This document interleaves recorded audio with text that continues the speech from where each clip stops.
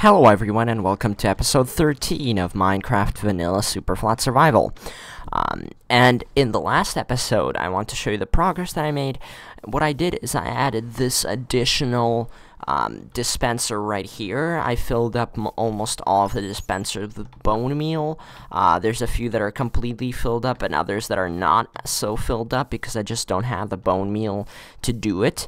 Um, if you notice, the redstone line kind of ends right here, and the thing is, um, it still powers this it still powers this dispenser here because um, it kind of ends here, but it still gives electricity to that, uh, well, the signal to that dispenser here because uh, it goes from this dispenser to this dispenser. Um, so that way I actually was able to save one piece of redstone on that top right there. Um, and as you can see when I press it, it's extremely loud. Um, and it kind of clocks. This is the redstone clock that ticks very, very quickly, dispensing the uh, bone meal onto the uh, farmland. And um, let me demonstrate here is that, for example, if I want to make a bunch of wheat to trade with villagers. Uh, but first, let me just uh, turn the. Uh, I don't know if it's uh, blocks. Yeah, I think it's blocks. So, yes, and as you can see, that definitely made it a bit quieter. Let's just make it 1%. So that way I can barely hear it because it's very annoying. So uh, I have I take my stone hoe. I just uh, hoe this thing up.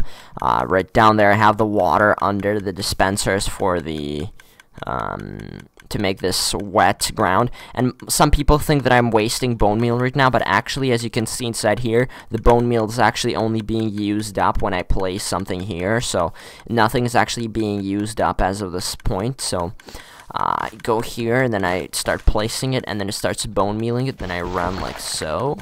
Um, and then I just do this until I have enough uh, wheat or whatever I need to do to trade with the villagers. So uh, once I get my villager breeder up and trading post up, this is what I'm going to be using to get emeralds. So this is kind of my uh, indirect emerald farm. So um, yeah, and by the time that I go here, it has already uh, bone meal the whole thing. I mean, I could have made it smaller, but I prefer having it large because, I mean, I prefer having it six I prefer having uh, six dispensers because that way it's the easiest and the fastest to make bulk amounts of uh, uh, wheat and other stuff. So I will also use this to breed the villagers because, oh, actually no, uh, villagers only need food to breed in 1.8. So um, I'm not sure exactly how I'm gonna make a villager breeder, but I'm somehow gonna do it.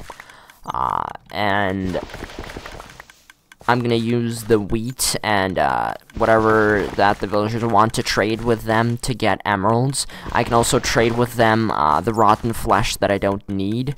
Or wait, or is that, or was that only added in 1.8? Yeah, I don't really know Minecraft 1.7.10 very well, but I did decide to play in 1.7.10 because, in my opinion, it's one of the best versions of Minecraft before it became kind of ruined. Because in 1.8, they kind of changed some of the mechanics of the rails, and uh, they also changed some spawning mechanics. Um, they added some more stuff. They... Um, they also made a different F3 interface in which they have local difficulty and stuff like that. Uh, and also, in my opinion, 1.7.10 actually also has the best mods in Minecraft, so that's also one of the reasons why I uh, prefer to other versions. And as you can see, it's still going strong, so let's go and see how much... Wow, sunset, uh, sunrise so beautiful. So, I did manage to acquire quite a bit of wheat here, so I already have about three stacks, so uh, let me just go inside and see. Um, well, we still have bone meal in most of the dispensers, so that's nice too.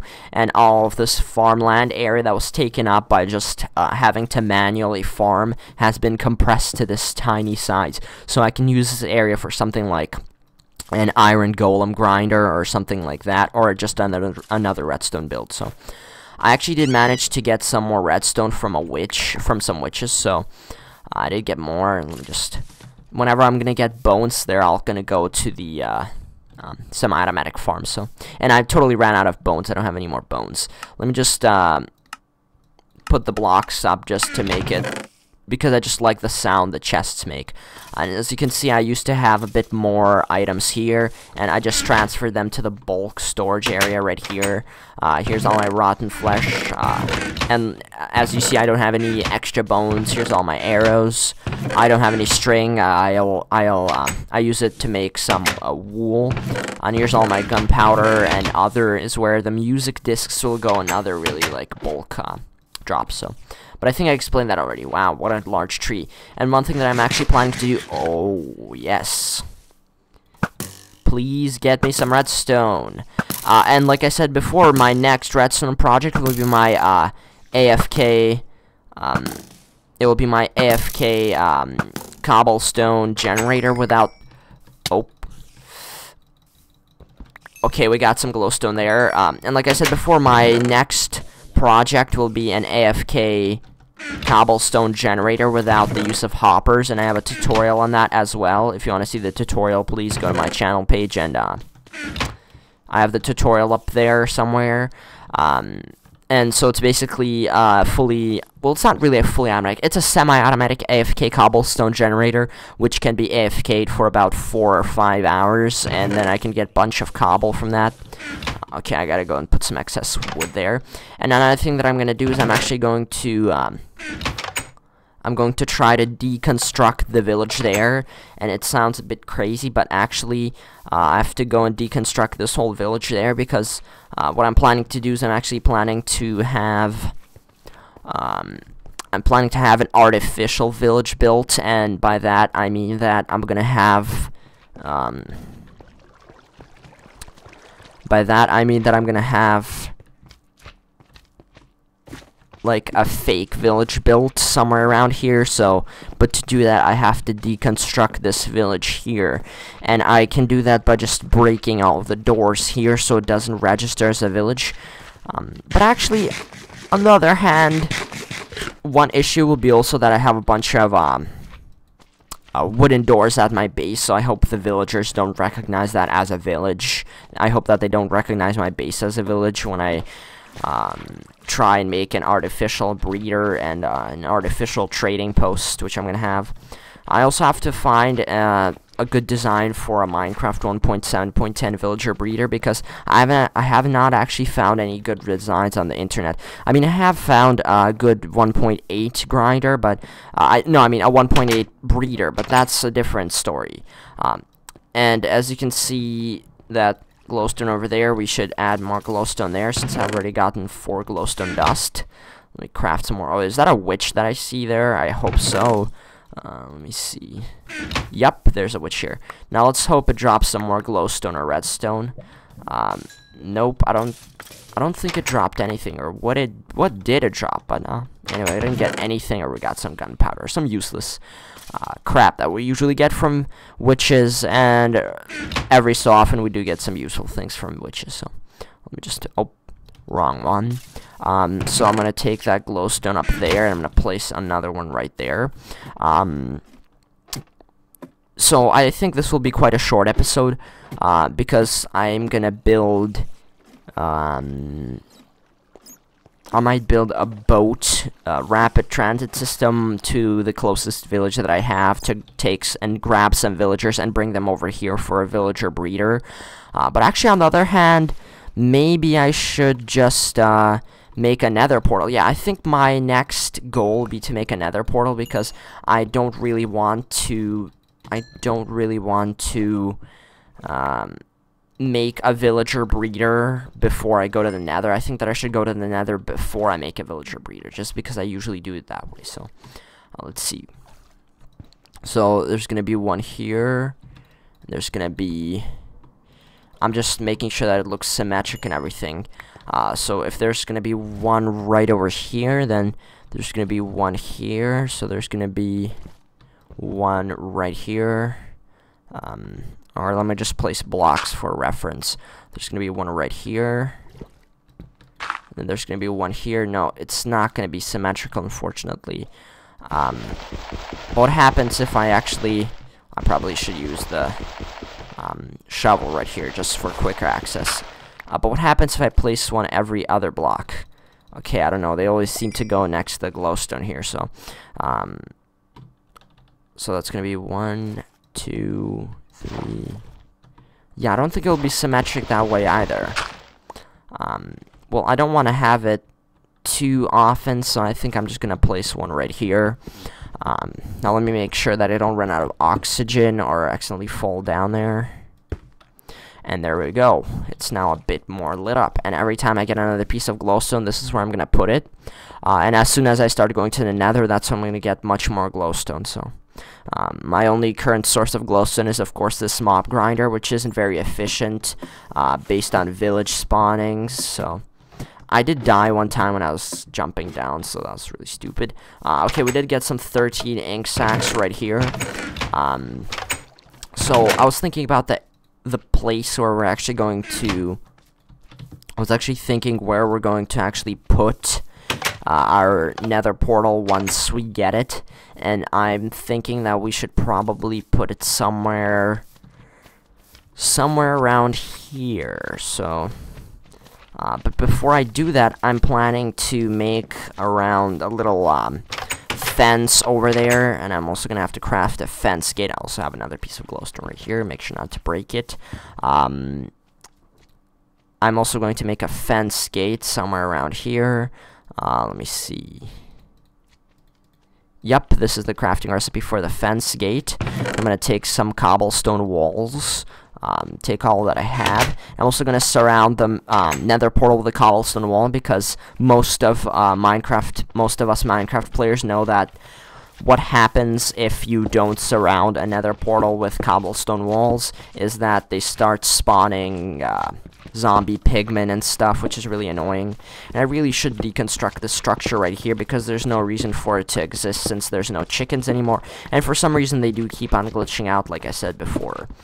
Um, so I need this space probably to extend my cobblestone wall a bit more so that I can have uh, my nether portal fit there and uh, just Oh, it's night that quickly. And actually, when I get enough redstone, I'm planning on making a fully automatic um, dye slash flower farm out of here. And if some of you are wondering what these mean, is that um, I'm standing. This is the area where I'm supposed to pour the water in, and right here is where I bone meal. So I bone meal here, I bone meal right here, and I bone meal right here, and I bone meal right here. And it basically fills up this whole area with flowers and uh, tall and grass and tall grass, depending depending on how you bone meal it. And then I put water right here, and then it basically flushes out the whole area, and it's very efficient because the water actually naturally stops here, and around here I think I'm going to have some... Uh, um, some hoppers which pick up all the items, but that's really far into the future. Uh, that's really end game stuff because that's only when I'm going to have a really good iron farm because hoppers require lots of iron, so that's when we'll have all of these awesome uh, fully automatic redstone builds. Um, now I'm planning to extend the cobblestone wall just one block right here, so let me just extend it really quick right here. Um, I'm just eyeballing it right now. It's not nothing official. Um, and this is where I'll have my uh, fence gate. So I think I should craft up. I'm gonna take some. Uh, I think I'm also gonna have a chest here and uh, a double chest. I'm gonna grab some chests from my uh, chest at home, and uh, I'm also gonna take a furnace and a crafting table just so it look good and uh, what if I do need a furnace near my nether portal? Uh, so let me take the furnace real quick from here. Uh, two chests right here for a double chest. Uh, now let me craft up another chest right here. Uh, no, I mean uh, crafting table. So um, I should probably also craft another. Yeah, that's what I'm gonna do. I'm gonna craft another. Uh, I'm gonna craft another fence gate just in case. Oh, let's just make it two so I could have access to it from all of the sides, just in case. Um, so that way I'm going to have three fence gates. Eh, around here. And I was thinking of actually replacing some of these doors with fence gates just so when I get villagers, they don't register register them as doors. But in the future, when I get villagers and when I make an iron farm, I'm going to replace these with iron doors just because they look better and they're safer against zombie invasions and stuff like that and mobs. Um, so I'm also probably going to put one right here. And just for that matter, put one right here. Also gonna have some uh, torches all around the place here. Um, put a chest up here.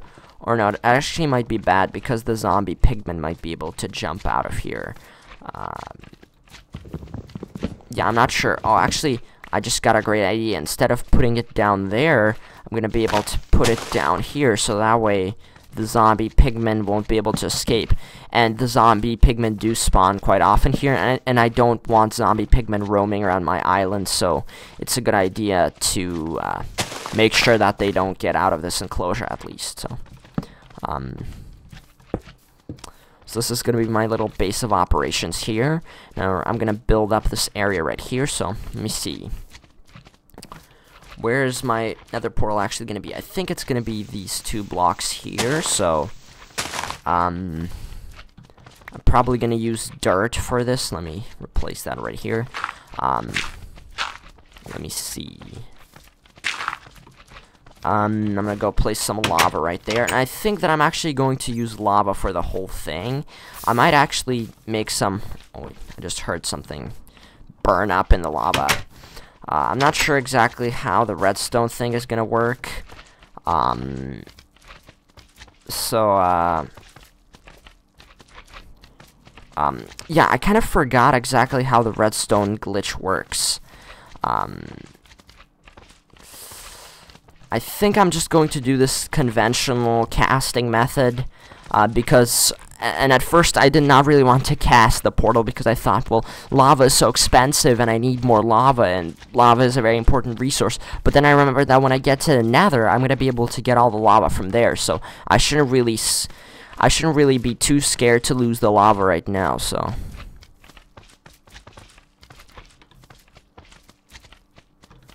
So, here goes nothing.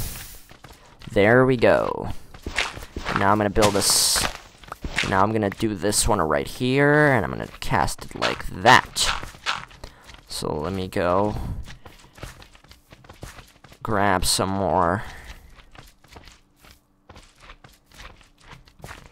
lava from there. Um, cast that really quick right here. And that's basically how I'm going to make a nether portal. Uh, what I think I'm going to do is also I have a village, the village over there, it actually has two blacksmiths, so that means four lava sources, so as soon as I get lava sources, I'm going to cast it up more, and that's actually what I'm going to be doing um, off camera, and if I do need more lava, I might even take some lava from there. Over there, I have a cobblestone generator that has one, one uh, source of lava, uh, I might also take some lava from my house. Although, no, I'm actually... No, I need at least one cobblestone generator just in case. But if I really, really do need it, and I only need just one lava source, I will do it because I can just go to the nether and... Um, well, actually, I do need another lava source to light the portal because I need to take some lava poured right here and then have, like, um... Uh, have wool on top of it, and then it will light the wool on fire and then um, it will basically light the wool on fire and it will light the portal. So I do actually have to have at least um, one lava source that does not go inside the obsidian. So uh, I hope you enjoyed this episode. I'm gonna go and find more villages maybe in this episode if I mean in the off-camera work if I do need more lava. So uh, thank you very much for watching. This was MineCralex uh, see you all in the next video